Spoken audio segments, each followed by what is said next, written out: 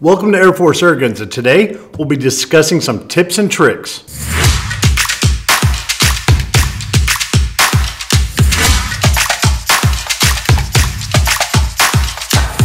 First things first when it comes to tips and tricks for your Air Force Airgun, we're going to start with the scope.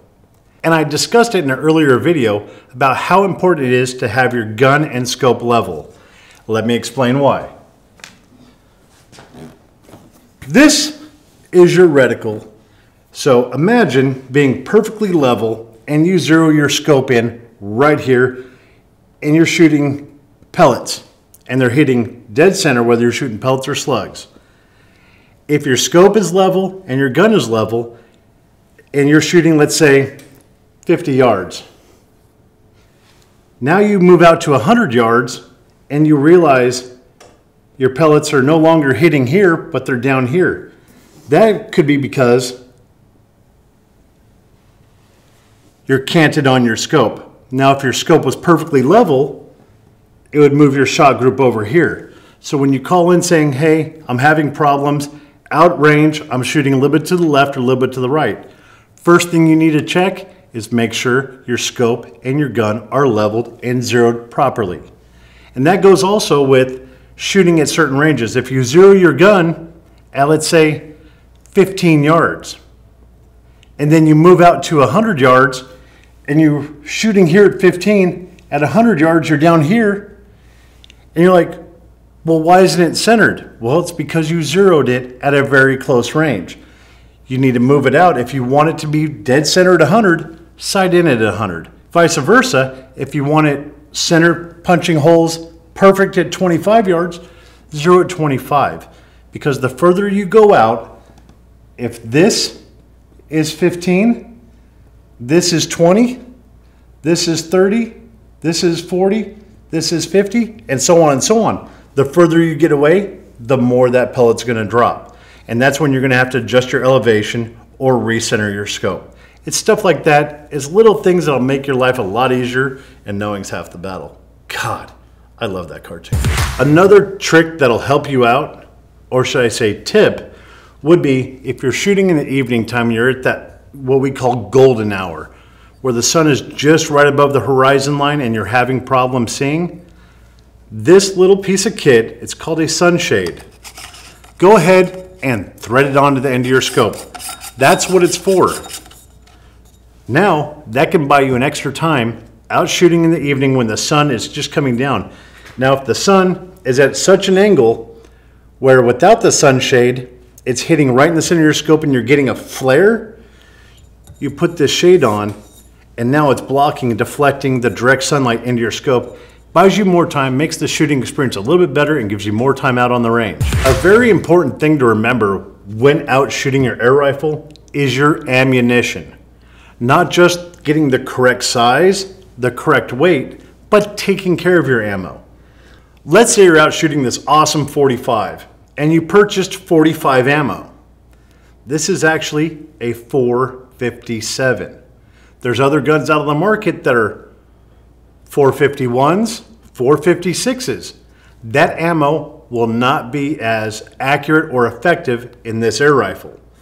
So if you purchased a 451 and you shot the gun and wondering why you can't group, it can't hit anything, that means the size of your projectile is too small. You're not getting a complete seal and a complete bite on your lands and grooves, meaning your ammo is going to be inaccurate downrange, and there's nothing we can do about it except purchase the right ammo. In this air rifle, we also do not recommend sabot rounds, which is a lead projectile or a projectile of any type inside a plastic housing it's just not recommended. They're not as accurate, not as precise. Just don't do it.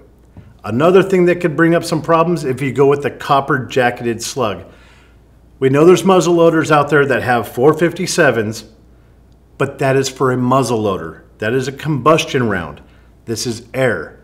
Whole different ball game. Don't use it or you'll be voiding your warranty calling us to get a slug removed from your gun and that could be costly and it can also damage the barrel. Now it's time to discuss taking care of your ammo. Ammo comes in boxes and tins, and that's for a reason. You don't just take your ammo and throw it inside a tackle box like your weights and bounce it around. If you take this slug like this and drop it, now we have a flat spot. That takes it out of round, it no longer seals properly, and is no longer stable downrange. Same thing with your pellets. If you take this and you're bouncing it around inside a toolbox in the back of your pickup truck, in your cup holder, and you throw a pellet in, you're like, we're gonna go shoot and target practice. Now that skirt's bent. That skirt is horrible. It will no longer seal properly. It'll no longer travel downrange properly. It'll destabilize at range. So that one, trash. It's that simple. Take care of your ammo like you would take care of your gun. That way, you'll have a good time shooting. Here's a little piece of advice that'll help you out and make your life a lot easier when sighting in your air rifle. If you notice this bench, it is very sturdy and solid. If you're sighting your air gun in on a wobbly plastic table that shifts back and forth, that could be your problem with getting perfect groups.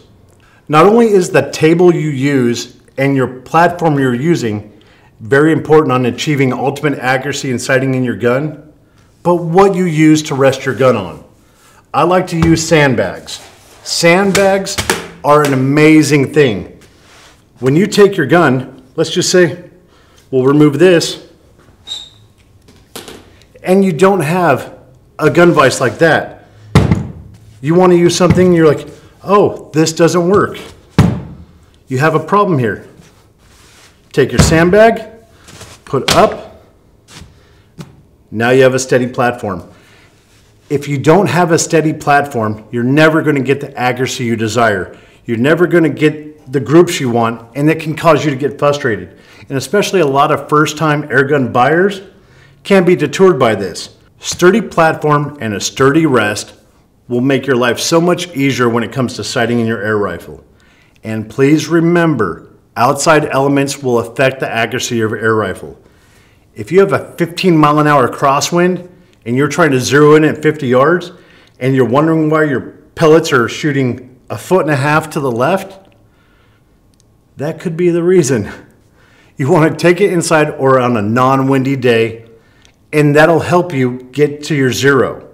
And then you can adjust from there. If you zero in on a non windy day and everything's perfect and calm and you're holding these perfectly tight groups, you go out on a windy day, put up a target, and you're noticing you're drifting to the left, you can do your holdovers or adjust your elevation and windage to compensate for that outside wind. But when you're first getting started and you're first trying to zero your gun, do it on a calm day. Make sure you have your sturdy bench and your sturdy rest. That'll make your life a lot easier and help you enjoy the sport even more. This is important. The final tip and trick about taking care of your air guns, and it's so simple.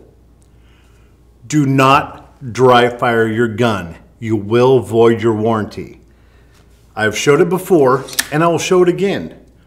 When you have your gun in the open position and you want to decock it, it's simple.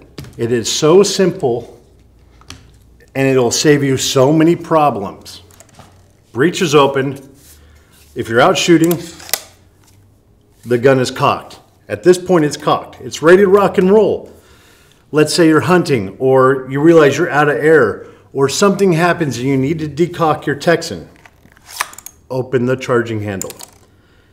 Take your hand, depress it just a little bit till you can see the carrier move. While holding your charging handle, press the safety forward, pull the trigger. That right there, you can notice the bolt didn't come closed all the way. Now, your gun is safe. So important. That is a huge safety thing to remember, how to decock your gun. If you dry fire your gun, you will void the warranty. Remember that. No dry firing, no excuses. We know what happens when you dry fire. It slams everything back. No air pressure comes out. It just binds up the gun and it destroys it. Do not dry fire your gun. It's even in the manual. Another thing, these guns use dry lubricant. No gun oil. The only time you add any kind of oil is if you're cleaning your barrel and you have a tough spot to get out, Hoppe's number nine, run it through. If you dump a bunch of gun oil inside the gun, you're gonna bind everything up. It turns that dry lube into mud and paste and it turns to concrete.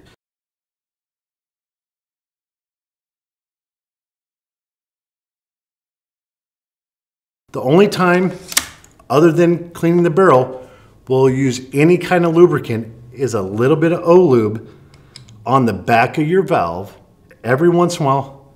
If you notice the performance is just not right, Q-tip, toothpick, little dab of lube right there. And on the top of the barrel, right where it exposes that little half cut moon, you could put a little bit of silicone lube there. Other than that, don't mess with it. If you have a problem, pick up the phone and call us. Our customer service is awesome. Those people will help you in any way, shape, any way, shape, form possible to make your life easy, which makes our life easy. If there's an issue, pick up the phone. If you filled out your warranty card when you purchased your air rifle, we should have all your information and the gun is completely covered. So that's another reason, as soon as you open the box, fill out the warranty card, put the serial number on it, send it in. If you have any problems, do not hesitate to call. But I hope these videos have been helpful, and thank you for joining us at Air Force Air Guns.